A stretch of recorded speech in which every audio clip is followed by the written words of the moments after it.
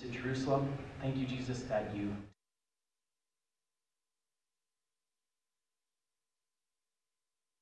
here in this place. We worship the true King of Kings and Lord of Lords. Let's worship God together here in this place. Amen.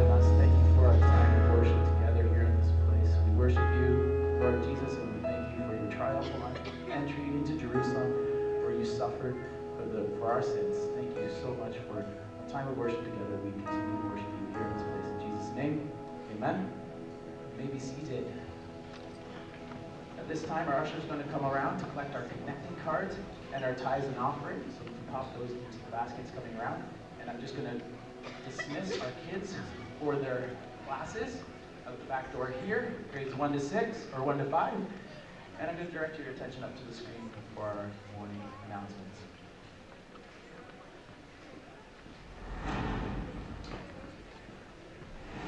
Good morning, Gateway. My name is Jenny Smith, and here are a few things we want you to know about this week. Have you ever wondered what could be good about a day where the Son of God was beaten, tortured, and put to death on a cross? Why do Christians around the world gather together to remember the death of Jesus? We invite you to join with us and all of the churches in town on Good Friday to reflect on the penalty of sin and the reason that Jesus died. This is a special event to consider as we head into the Easter weekend because it doesn't end there. Be sure to come back on Easter Sunday as we celebrate together the most important event in history because this is where everything changed. Easter Sunday is all about the importance of Jesus' resurrection and how Jesus is still alive and changing lives today. Hope is alive, and we would love for you to join in that celebration. Start inviting family and friends now to experience a really impactful Easter weekend. Easter reminds us of the greatest hope that there is, the risen Savior Jesus. We invite you to come this Easter Sunday as we remember and celebrate Jesus' resurrection. Easter is for everyone as we experience Jesus' life, we remember his death, and we celebrate his resurrection. We want to begin to pray for everyone who's attending one of our Easter services that they would encounter this hope that only Jesus can give. For Easter Sunday, there will be three morning services to choose from as usual. This is a perfect time to invite friends and family who may not normally visit a church to join with you. We hope to see you there. There will be an Easter sunrise service held down at the river on Easter Sunday. There will be a short devotional, a time of worship, and baptisms. We will be baptizing people polar bear dip style, so if you would like to be baptized on Easter Sunday at the river, please let us know. Get ready for Rooted, our 10 session series on Sunday nights. Connect with God, your church community, and discover your purpose. Each week, we're going to dive into five Bible studies and two special sessions on prayer and serving. Whether you're a longtime follower or you're new to faith, Rooted could be a great next step for you to consider. RSVP at the link below. Thanks for joining us this morning. We're so glad you're here. Have a great week. Well, good morning, and again, welcome to Gateway Church. My name is Wes, and it's, uh, it's a joy to be with you all this morning. Uh, today, we're jumping back into our series called Conversion Cluster, where we're looking at the moment of conversion, what happens when we cross that line of faith. Because although it's true, as many of you know, when we place our faith in Jesus and what he's done, we're, we're saved. Uh, that word saved there, though, the, the, salvation that we're given has so many aspects to it. Like a, a multifaceted diamond or like a crown, um, there are many parts to salvation. Uh, for example, we chatted about justification and how we're seen as righteous in the eyes of God in that moment. And then last week, Steve talked about redemption and how we've been bought back by the blood of Jesus uh, from slavery and sin to now freedom in Christ. And today, we're continuing on in this series to another facet of, or, or part of salvation that, that happens the moment we're saved, the moment we convert, the moment we place our faith in Jesus.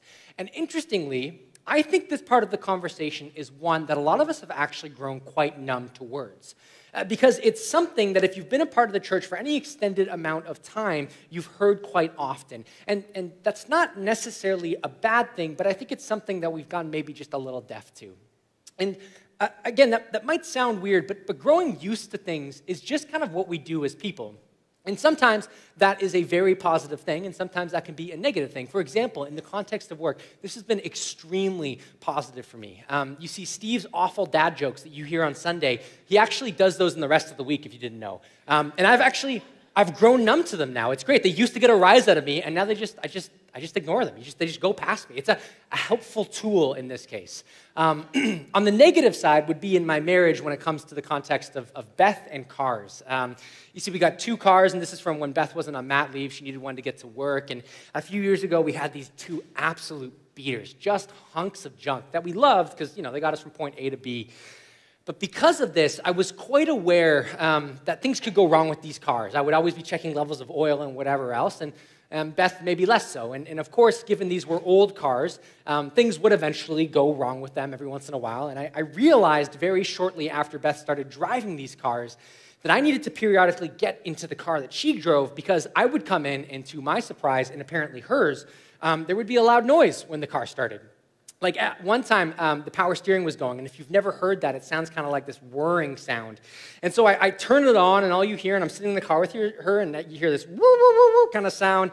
And I look at Beth, and, and I go, How long has this been happening? And no lie, she looked back at me with a smile on her face, and she says, What sound?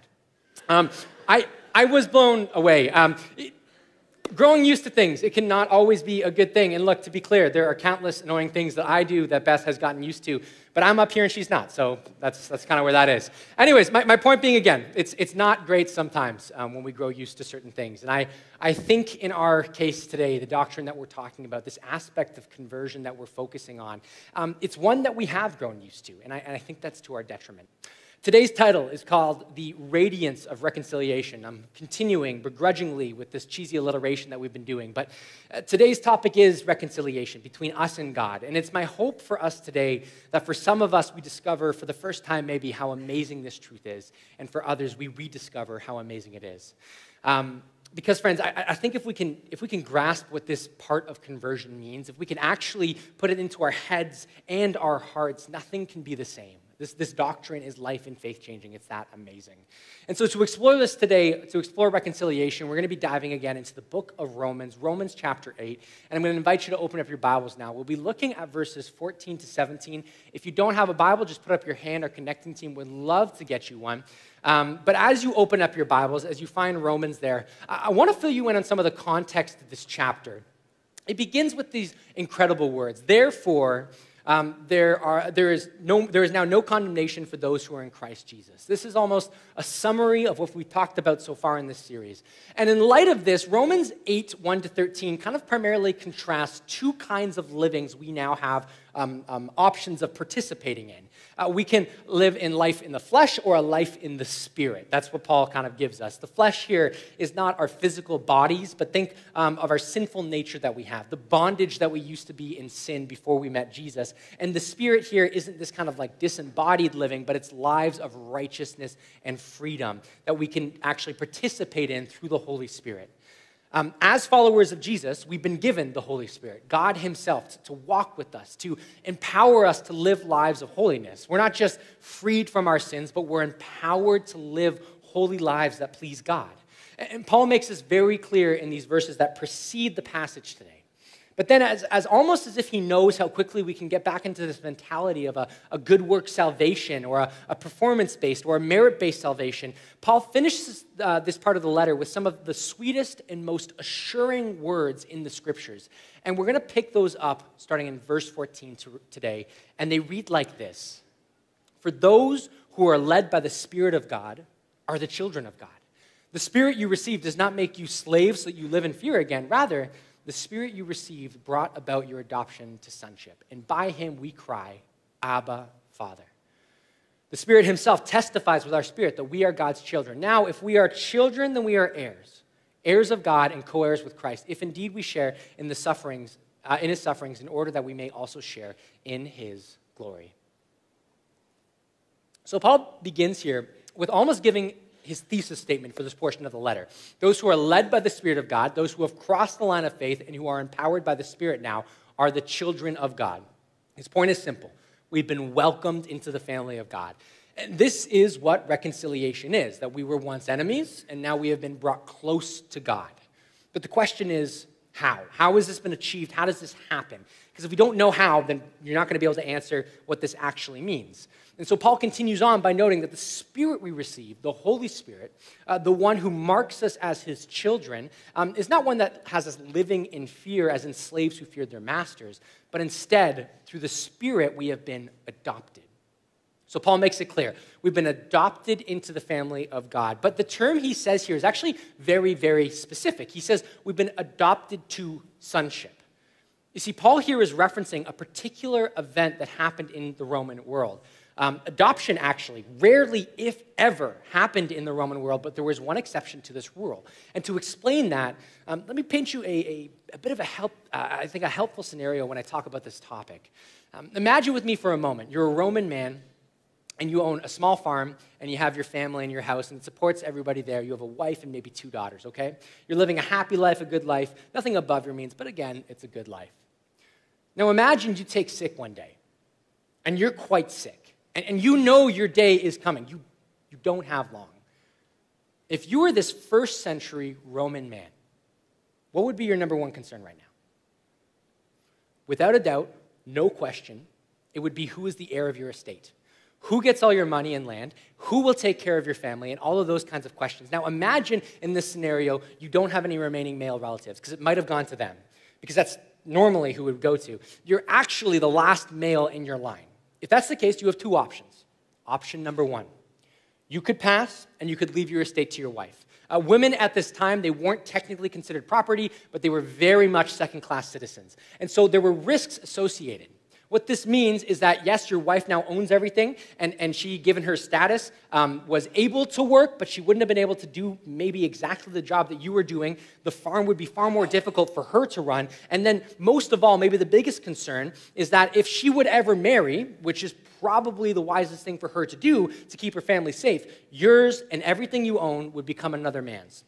So, everything you worked for, uh, all, it, all that is yours would be another person's, and your name, especially, would essentially be gone in the Roman cult- culture. You'd be forgotten. So that's option number one. Option number two is usually a little more appealing in this case. Instead of waiting to die and giving everything you own to your wife, who, again, even if she was an amazing woman that you trusted, it might not have been the wisest thing to do, your other option is that you could adopt someone.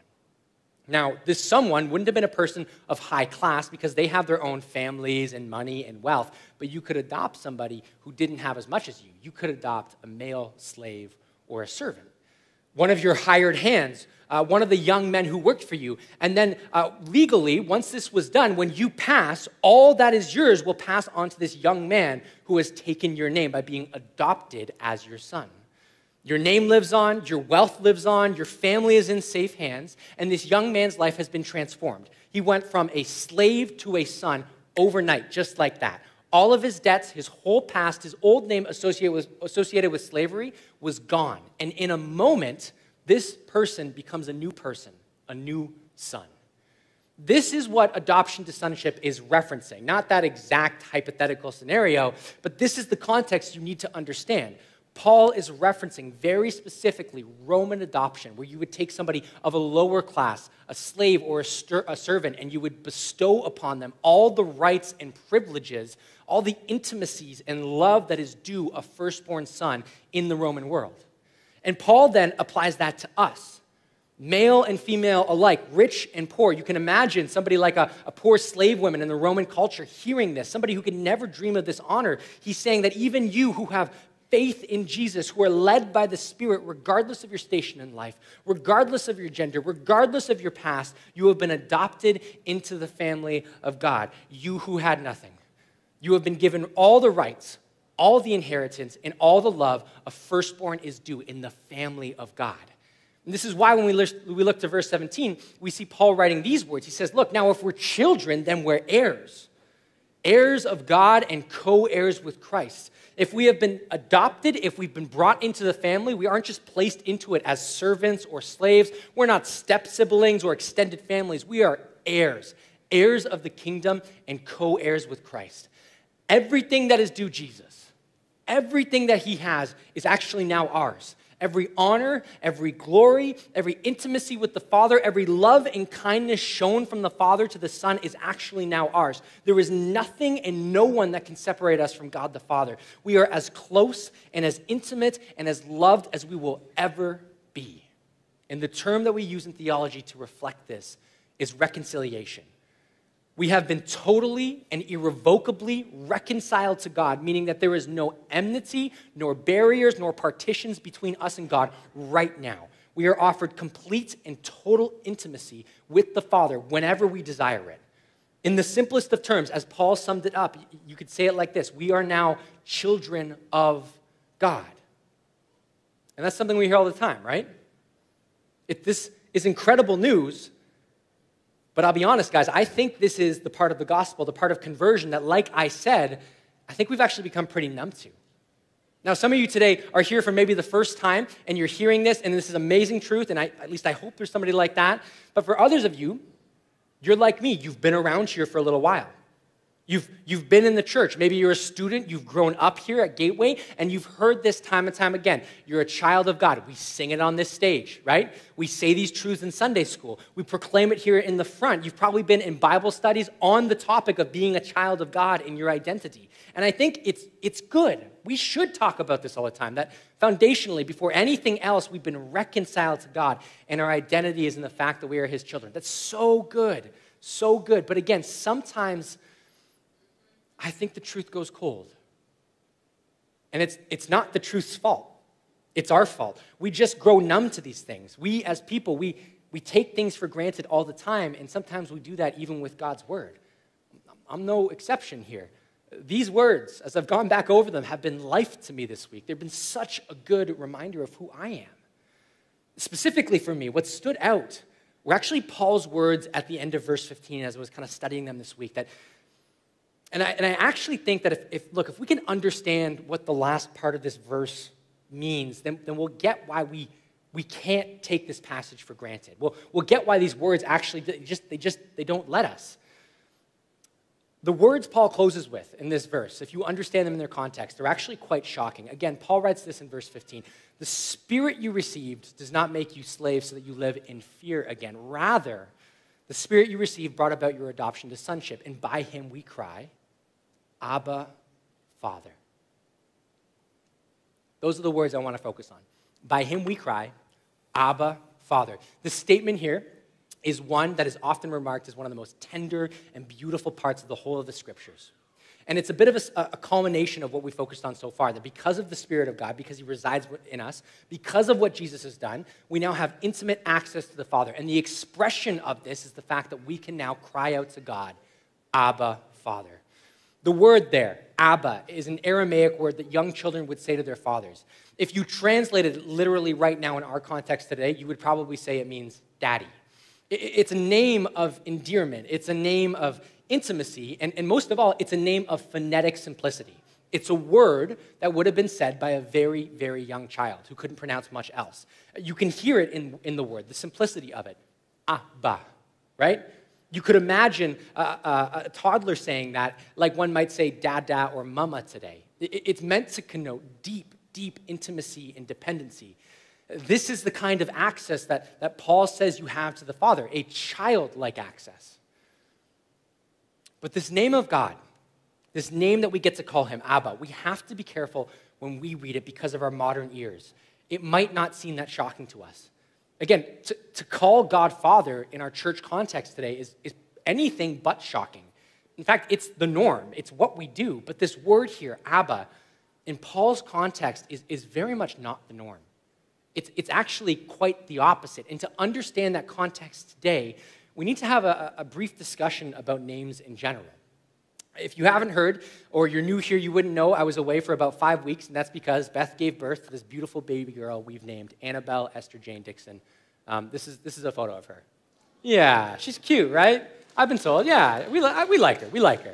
Um, you hear funny things. I, you hear funny things when, when people, when people, uh, when you have a new kid. Um, a lot of people, one of my favorite things that they've said to me is this: "Wow, your kid is actually cute." Um, and that seems like a nice compliment at first glance until you realize the person who said that is straight up ready to lie to your face. You know, like there's a world that exists where they look at this kid and they go, oh, she's not that cute, but I'm just going to tell Wes anyways. I'm not saying I want to hear otherwise, but like that's what that's saying. Anyways, that has nothing to do with today, just a funny thing. Um, I, I, bring her up um, because Beth and I, we had to enter, like all parents do, into the process of naming our child.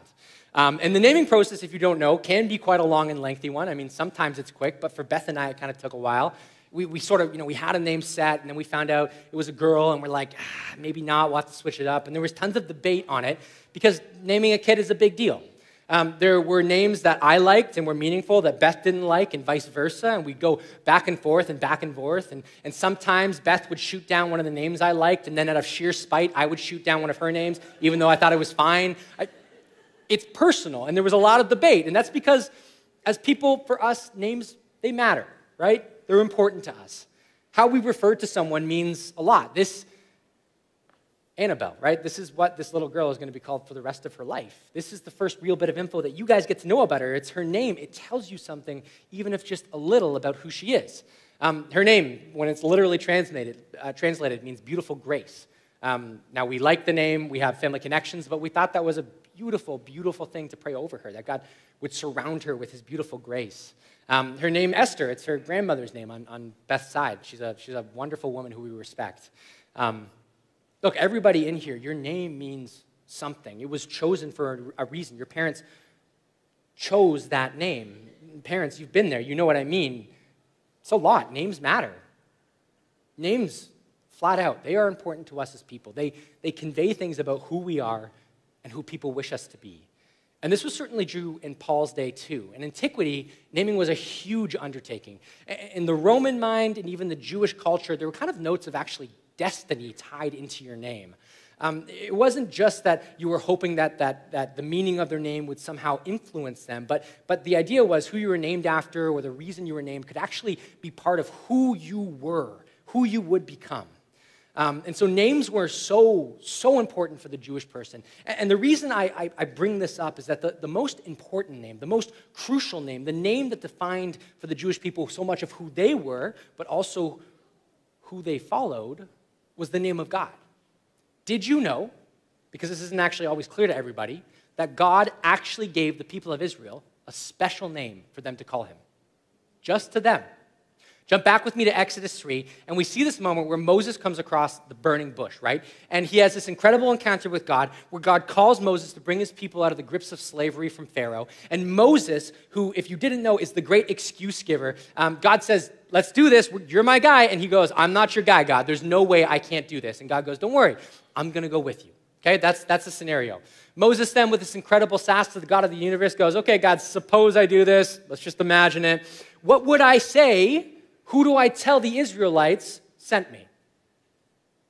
This is what God says in verse 15. Say to the Israelites, the Lord, the God of your fathers, the God of Abraham, the God of Isaac, and the God of Jacob, has sent me to you. This is my name forever, the name you shall call me from generation to generation. Now, if you read this verse in the English, it's hard to catch, but there is a special name in this verse where God reveals himself as, and it's the word the Lord. You'll see it up there on the screen. In your English translations, uh, many of them, if you open your Bibles or your apps, wherever it is, you'll see that it has the word the Lord in capital letters. And it does this in many other places in the Old Testament. And you might think that's to show reverence, but that's not it. See, if you look at this verse in the Hebrew, this is the Hebrew word that comes up where it says the Lord in capital in your translations. Here's the catch though this word does not translate as Lord, it doesn't at all. This word uh, does not translate at all. Um, we can go, actually, let's go back to the, to the Hebrew word there. I just want to see it for a second. Um, this word is called the tetragrammaton. It's the four letter word. This four letter word is the divine name that God gives Moses um, and the Israelites. This is the intimate and very specific name that he tells them to call him. Here's the catch, though we don't know how this name is pronounced, we don't know how to say it. That's part of the reason why we put the Lord in capitals. We don't even know how to say God's name. And that's because the Jewish people over the years considered the name to be so holy and so precious that they would refuse to say God's name out loud. I'm not kidding. Out of reverence, they would actually say other things when reading the name. They would say words like this. They would say Hashem, literally meaning the name. So they would read the verse. They would say, uh, say to the Israelites, Hashem, the God of your fathers. Or they would say the word Adonai, which means Lord. They would say, say to the Israelites, the Lord, the God of your fathers. And it's because of this practice of reverence, of skipping this name given to the people by God, that we have the Lord in capital letters in our translations to show you that this is the name that's there in the text. But you might be saying to yourself right now, well, Wes, the word's right there. But can't we just sound it out? And the answer is sort of. See, the scriptures, they were originally written in ancient Hebrew, which is much like modern Hebrew today. It doesn't have any vowels. All those letters on that screen are consonants. The letters, uh, sorry, the, the consonants in Hebrew, what we read today, didn't come until about the 6th century AD when a group of monks called the Masoretes added vowels for us who don't really read Hebrew so we can know how things sounded easier. But the issue is this because the Jewish people skipped the name so much, by the time the Masoretes added the vowels, nobody knew what the divine name, the, the divine name sounded like. And so the Masoretes would add different vowels from different words to tell whoever was reading to skip over the divine name with a different word, like Adonai. Now, we have guesses as to how this pronounced, is pronounced. Uh, the word Yahweh is probably something a lot of you have heard. That's the best scholarly guess that we have. But to be clear, we don't know if that's right. Another word uh, that you've probably heard, Jehovah. Again, same thing. That's a guess at how we pronounce this word. If anybody tells you they know for sure, they do not. We don't know. We're guessing. I'm not kidding about this. Now, why do I tell you? Why do I bring up this name detour that we just went on? It, it's to make this point that the Jewish people were so careful how they referred to God. The names they used, they were always done with a deep sense of reverence. They were so reverent that they wouldn't say God's revealed name in the chance that it could be used irreverently or that it could be mispronounced. They were so particular and careful. And yet, going back to our scripture today, here we see Paul, a Jewish man, an ex Pharisee, who is telling us to call God Abba the phrase a little child might use to refer to his dad. I, I think we so often skip by this point, but what Paul is saying we should do here, what he's asking us to call God, it's radical, it's crazy. This is not normal.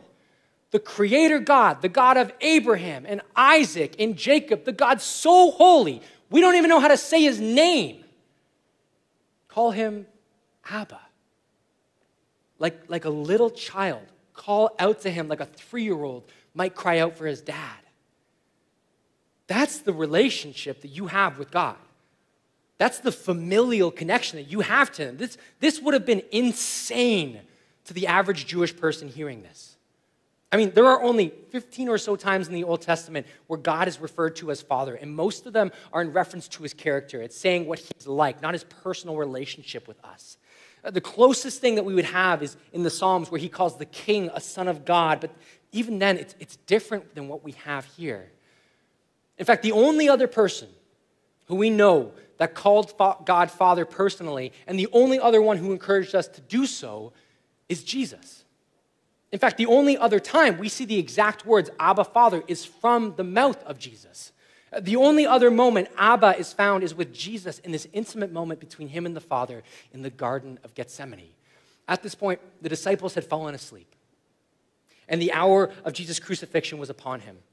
And we read this in Mark 14. It says in verse 35 that going a little farther, he, being Jesus, fell to the ground and prayed that if possible the hour might pass from him.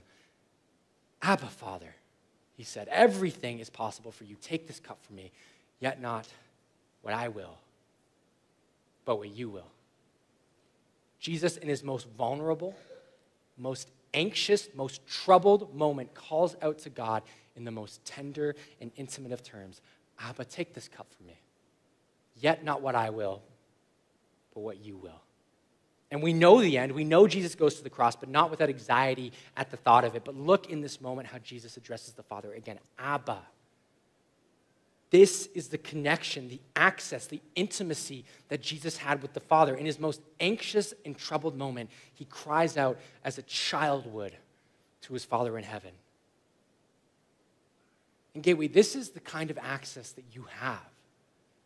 It's this Garden of Gethsemane kind of access. It's you and all your worries and anxieties and your highs and your lows. It's you and all your victories and your losses. It's, it's you, all that you are, you.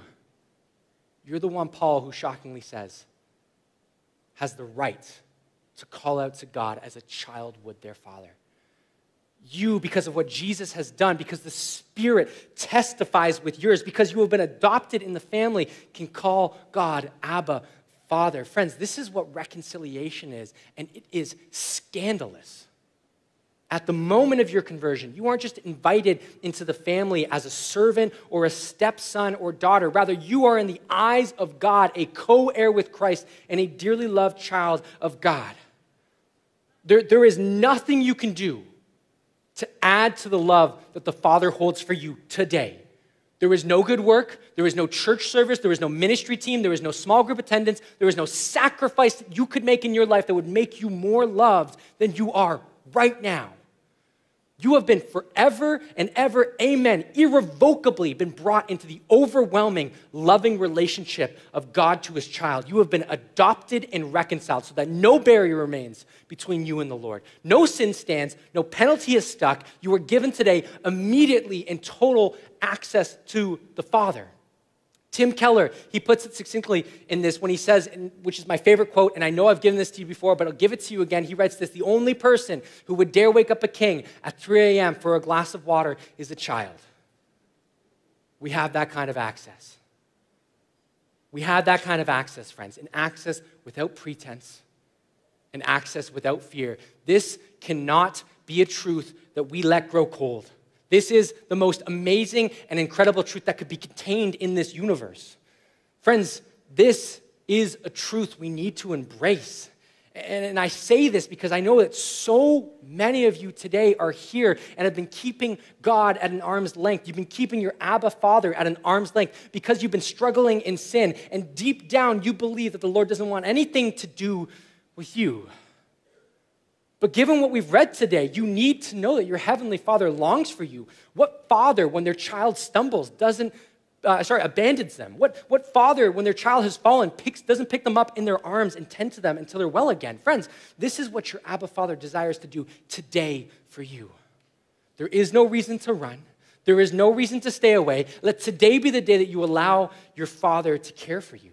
And let today be the day that you experience the love of the Father. Let the Spirit testify to this truth today as the worship team comes now to lead us in song.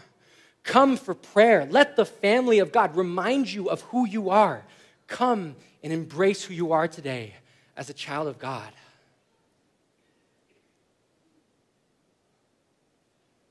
Friends, I, I can't wait for the day that my daughter calls me daddy for the first time. I, I can't wait.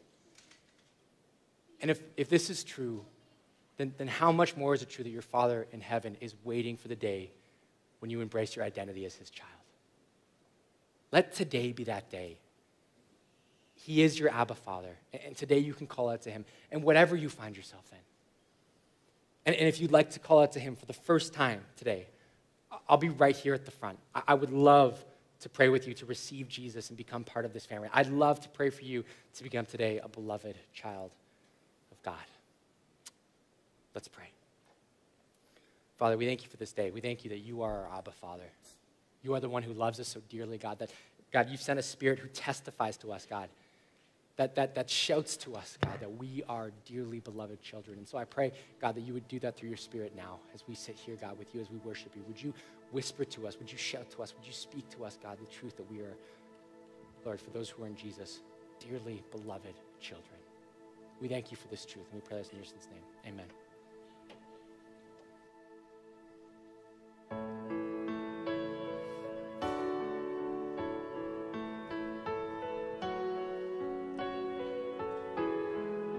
Why don't you stand with us? Alone in my sorrow and dead in my sin. Lost without hope, with no place to begin. Your love made a way to let mercy come in. When death was arrested and my life began. Ash was redeemed, only beauty remains. My orphan heart was given a name. My mourning grew quiet, my feet rose to dance when death was arrested and my life began. Know your grace so free washes over me. You have made me new, now life begins with you. It's your end.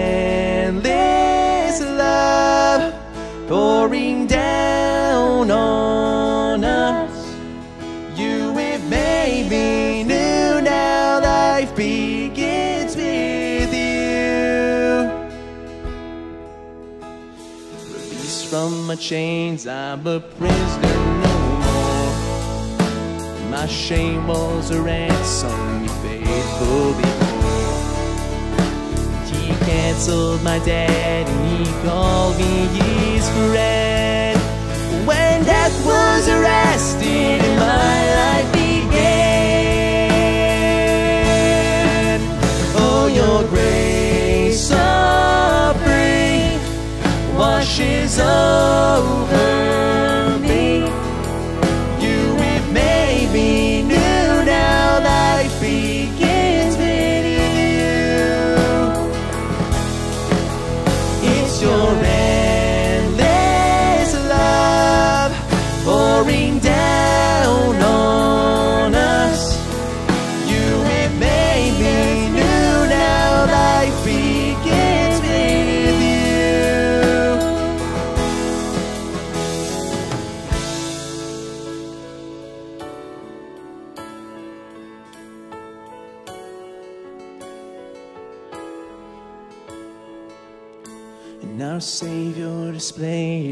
criminal's cross.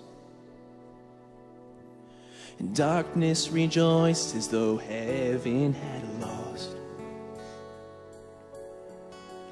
But then Jesus arose with our freedom in hand. That's when death was arrested and my life began.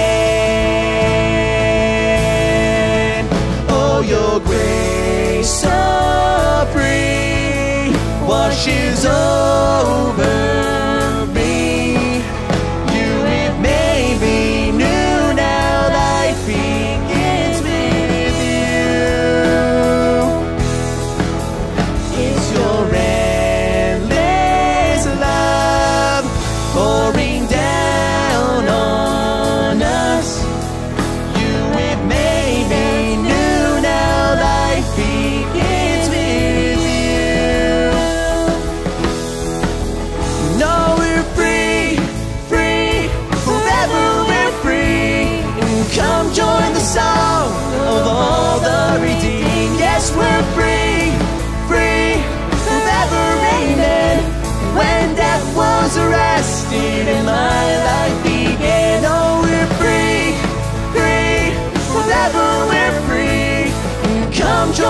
song of all the redeemed. Yes, we're free, free, forever amen. When death was arrested and my life began.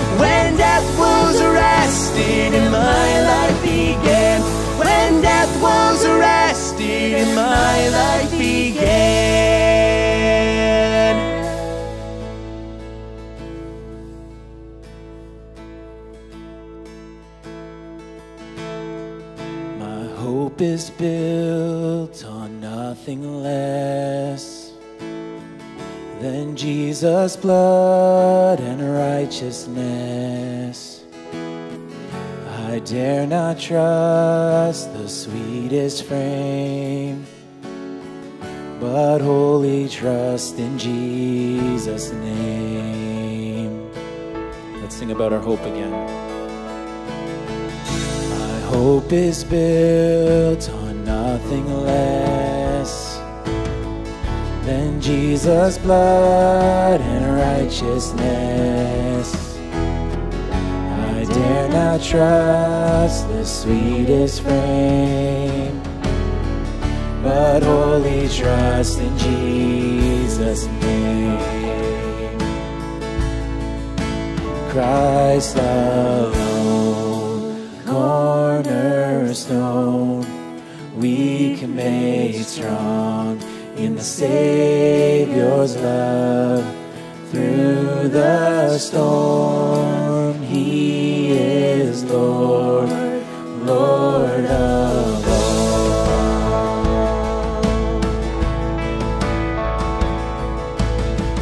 When darkness seems to hide his face, I rest on his unchanging grace.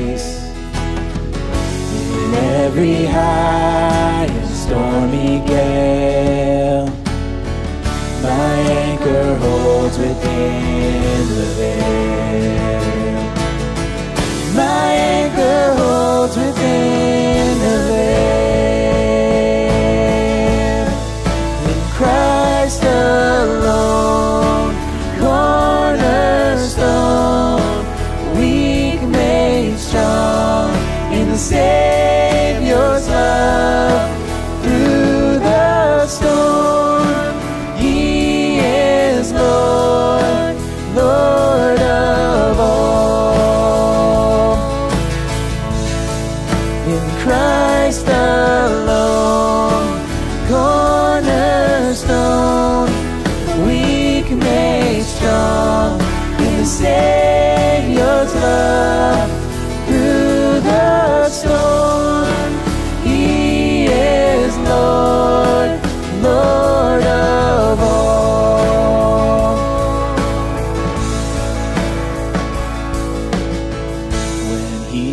come with trumpet sound, oh, may I then in him be found, dressed in his righteousness alone, faultless stand before the throne.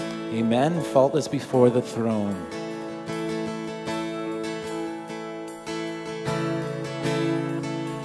Christ alone, cornerstone, weak made strong in the Savior's love.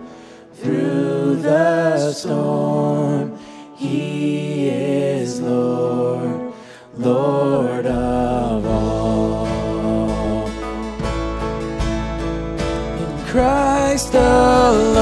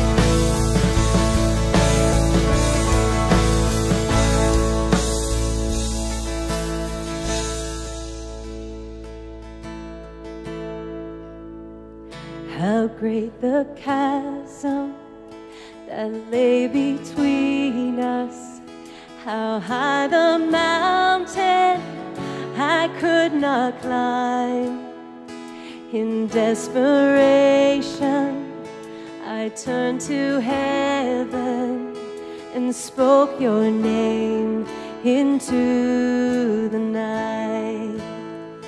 Then through the darkness, your loving kindness tore through the shadows of my soul.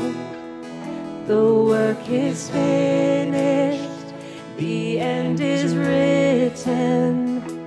Jesus Christ, my living hope. Who could imagine so great a mercy? What heart could fathom such boundless grace? The God of angels stepped down from glory to wear my sin and bear my shame. The cross has spoken, I am forgiven. The King of Kings calls me his own. Beautiful Savior,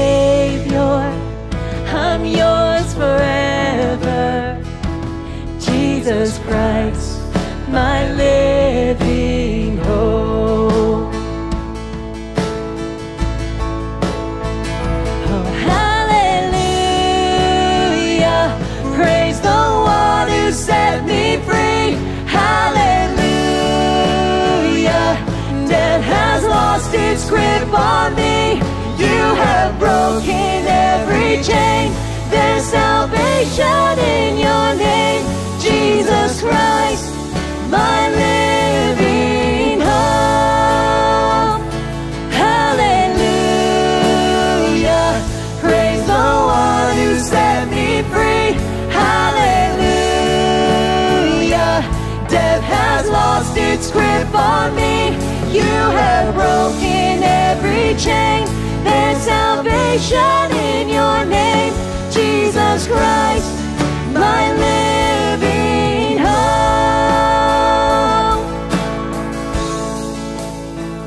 Then came the morning that sealed the promise. Your buried body began to breathe. Out of the silence, the roaring lion declared the grave has no claim on me. Let's sing that one again and declare it. Then came the morning that sealed the promise. Your buried body began to breathe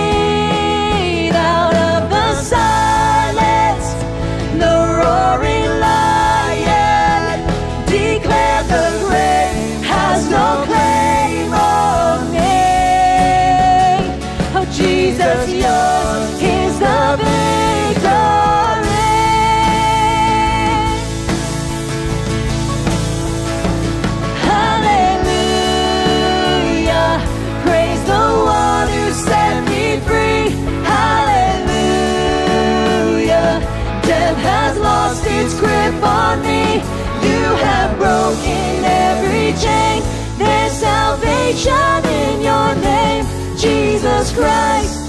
my living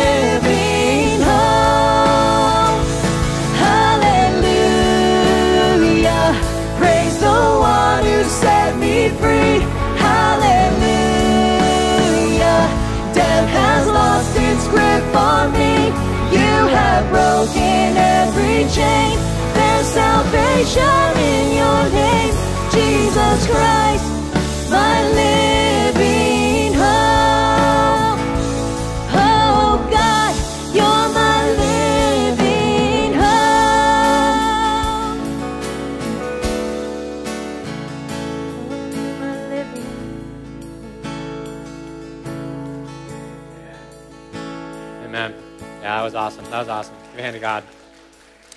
Friends, before you go, a couple of announcements just for you. Um, the first is that uh, tonight, the Second Sunday Band and the Martin Brothers are joining us for a worship night uh, here, 7 p.m. It's free. Make sure you come out. These guys are incredible. Um, it's just going to be such an amazing time with God. Um, secondly, there was an issue in the announcements. Uh, Rooted has actually been moved to Monday nights starting on April 8th in the alcove, not Sundays, Mondays. Um, thirdly, we have an Easter morning sunrise baptism service at 7:30 a.m. Um, 12 people are being baptized. Amazing, right? So good, so good. I know it's early. Get out there. It's such an incredible service. Let's support our family here. Um, after that, there's going to be services here normally at 8:30, 10, and 11:30. But let me leave you with uh, this uh, this blessing. May you go forth today in the care of your Abba Father. May you know today how loved and treasured you are by your Father in heaven. Amen. See you next week.